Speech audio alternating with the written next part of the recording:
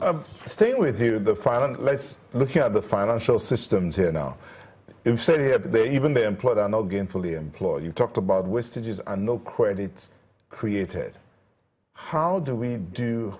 What can we do to move out of this position that we find ourselves, besides fiscal discipline? Well, the key thing basically is that most institutions run based, most countries run based on their institutions, just like the body works on its organs, the hair, the brain, the heart, and all of that stuff. What I'm telling you now, and I said this in 1986, is 30 years ago, you can't begin to do a Dutch auction of your currency without killing off your real sector. You must ask yourself, how did you subsume the investment bankers into a universal banking system in which you had people who had no way of defining the risk and profit profiles of what they were doing? What you're doing basically, you're running a cashiering economy. It's more like monopoly until you deal with that, you find out that you're still only, only able to execute 21% of your budget.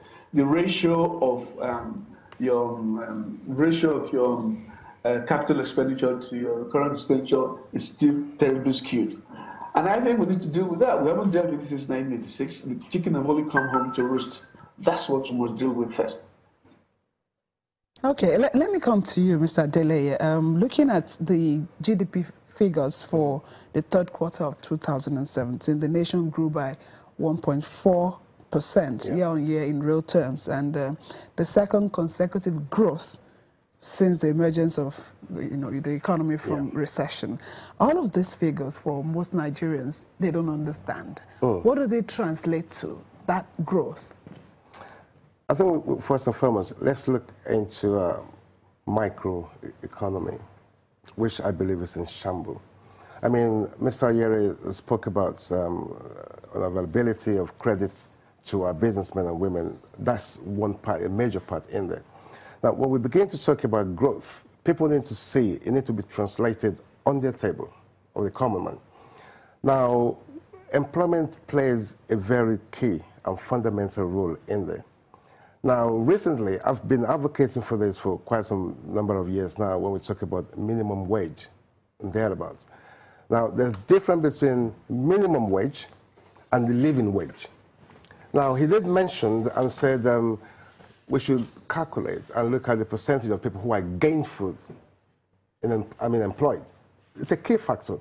Now, when we talk about minimum wage, it's a different thing to living wage. So what's the difference? Well, minimum wage is what, what we propel and say, okay, this is how much the government is saying they could afford, or everyone should be able to pay everyone that works in the economy. A living wage translates into the indices of the economy that actually measure what you earn, the value of what you earn to what you can buy with that money. Now, if we're talking about 18,000, for example, as minimum wage, I've asked this question quite a few times. How did you arrive at that figure? Minimum wages is been calculated, okay, starting from age indices.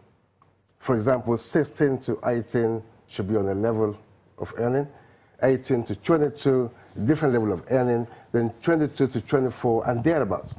Now, there are calculations that many countries use to be able to come to a figure and say this is what the economy compared to what the living standards could be. But here, it's a different phenomenon. So now, when the common man looks at the growth and they look back, they can't feed themselves three times a day. Um, they can't afford the basic things that they need to live on in the economy or as a, as a household. So where is the growth coming from? It's the figures that many people don't understand. We're growing with the largest economy in Africa, but how do you describe that to a normal layman on the streets?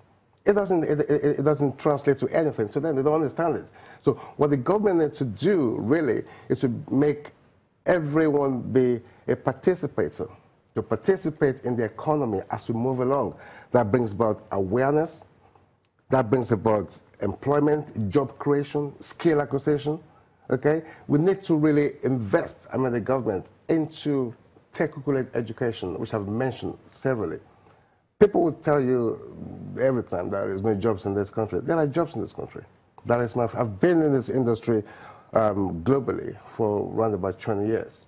Now the issue now is, there are jobs in this country, but we lack the skill of people to take over those jobs.